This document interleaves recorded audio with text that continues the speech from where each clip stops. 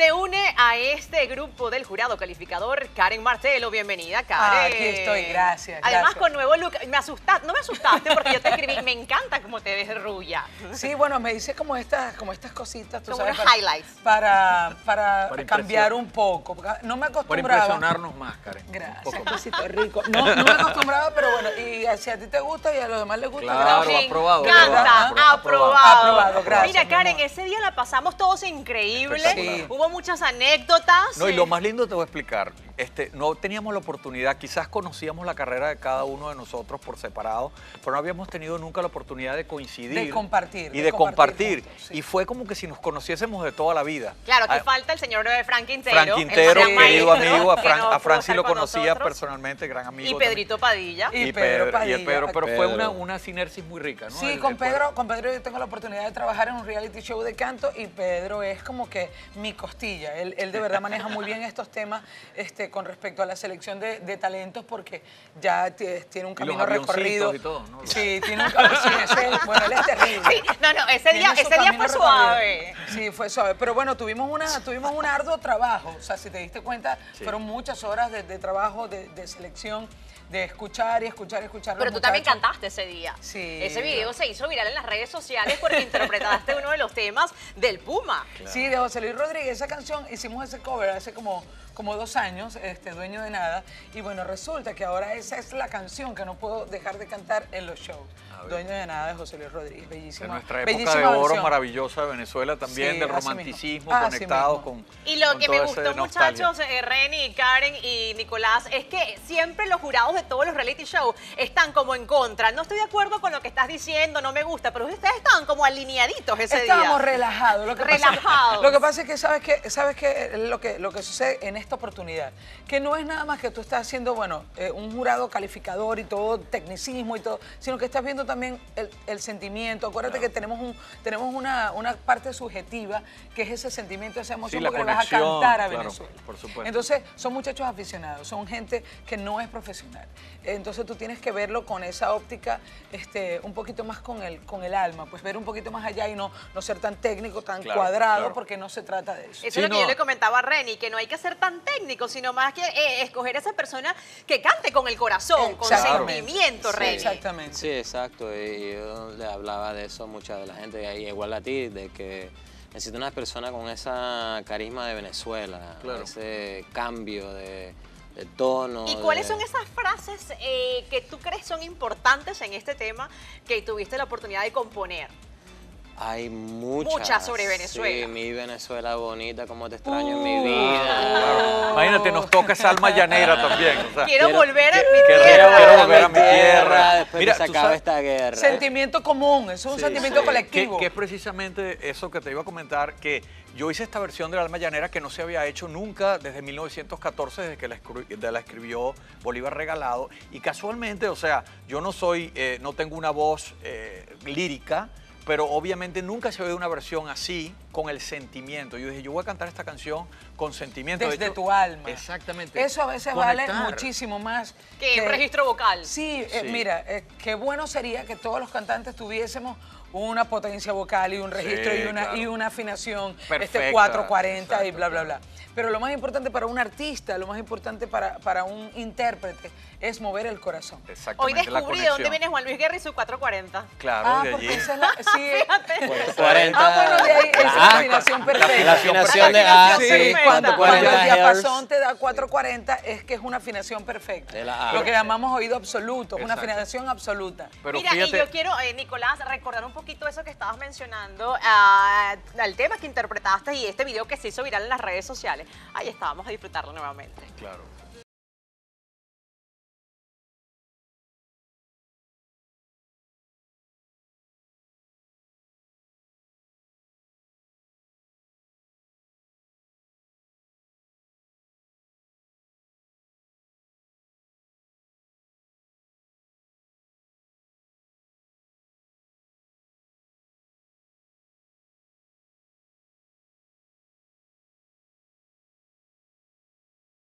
Llorando.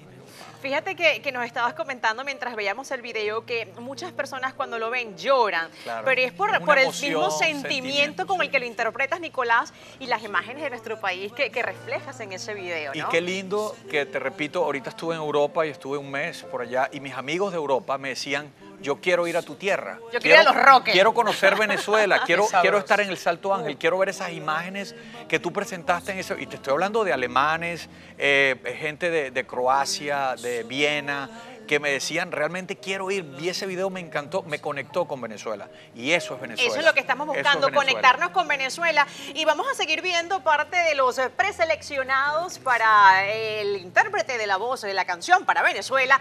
Esta chica me impresionó, muchachos, cuando entró al casting ese día, porque ella ya ha estado previamente en otros realities musicales. Es muy conocida en nuestro país y tiene una de las mejores voces de nuestro país, como lo es Rachel. Ahí está. Gracias. Llevo tu luz y tu aroma en mi piel y el cuatro en el corazón. Llevo en mi sangre la espuma del mar y tu horizonte en mis ojos. No envidio el vuelo Tan bella Rachel, qué, qué talento, ¿no? Tiene esta chica. Sí, ella tiene un talento es- espectacular, tiene una voz muy bonita y de paso tiene muy buena presencia. Sí, ella es una claro. mujer muy bella, es una mujer muy hermosa y tiene mucho carisma en el escenario. Es como decimos en Venezuela, es un gallo jugado. Ella tiene bastante cancha, tiene bastante rueda en esto. Y ¿Qué es un gallo genial. jugado? Un gallo jugado es que ya, ya, tiene, ya tiene terreno, pues. Ya lo, Apuesta. ha- ya lo han tirado a las apuestas. ¿Será que nosotros somos unos gallos jugados? ¡Uf! Vamos a ver. todo Tú lo eres, tú lo eres. O gallina jugada. Vamos Somos a ver gallos jugados. a Francis Jaramillo. Samba vivió conmigo parte de mi soledad. No sé si ya lo sabrás, contigo, contigo mi amor. Karen dice, Guapa. ella cantó con los ojos cerrados. Sí, ella, canta- ella tiene que abrir los ojos. Tiene que, tú, tú vas a interpretar, claro, me imagino que forma parte de los nervios también. Que dice, yo mejor me concentro, me veo por dentro para que yo pueda sacar lo que yo tengo. Pero de verdad, Pero nosotros la estamos viendo a ella porque está muy guapa. Es además. bella, es Muy bella. Lo estaba guapa. diciendo, es muy bella. Se parece a una actriz venezolana Y es- muy famosa y- que está en Colombia. Y es de Valle de la Pascua. Ah, de tu es de- de mi tierra, la tierra. tierra de Ah, mi ¿verdad que Guillermo es? ¿Verdad que ella es Felizola. guariqueña? Sí, es guariqueña Sí, y sí, justamente su tía fue la ganadora de un concurso que ella ganó la parte femenina y yo gané la parte masculina que fue el Cantaclaro de Oro en Valle de la ¿Y Paz. hace Ah, cuántos años fue eso, Bueno, yo, Nicolás? yo tenía Hace nueve poco, años. hace poco, tengo hace poco. Tengo 53 y ya tenía nueve. Imagínate. o sea, Imagínate tú, hace, unos muchos cuantos años. cuando Vamos- yo tenga 53, yo quiero verme así. Y por favor, todos queremos vernos como Nicolás. Vamos ahora con Emily Nieves.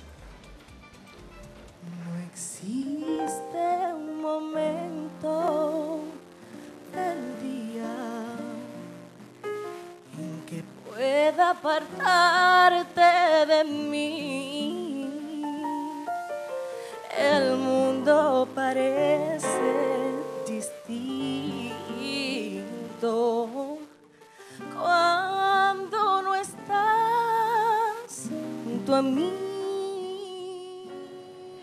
Tengo una anécdota con ella. Ella llegó y ya las puertas del canal estaban cerradas para el casting. Uh. Y, y la chica estaba, pobrecita, paradita en la puerta y nos decía, denme una oportunidad, por favor, déjenme Ay, pasar. y le habíamos dicho, está todo cerrado. Pero ella decía, yo quiero que ustedes me escuchen y qué privilegio verla en este grupo de preseleccionados. Sí, claro. Ella, ella tiene una voz muy bella.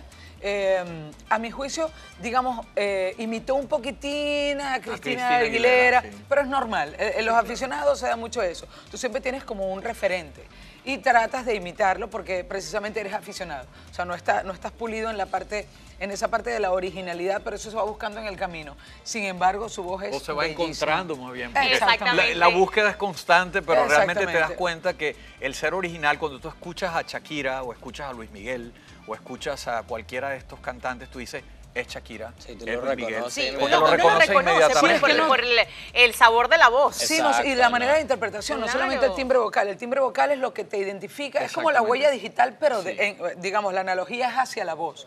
Eh, no- todos pueden haber mil sopranos, pueden haber 500 tenores, pero cada uno de nosotros tiene un timbre vocal que es el que te identifica. como una huella digital, que es única y repetible. Entonces, Únicamente. cuando logras conectar esa autenticidad, la unicidad de tu voz con el sentimiento, Listo, ya estás listo. la tienes lista. Vamos a ver a nuestra última preseleccionada. Ella se llama María José.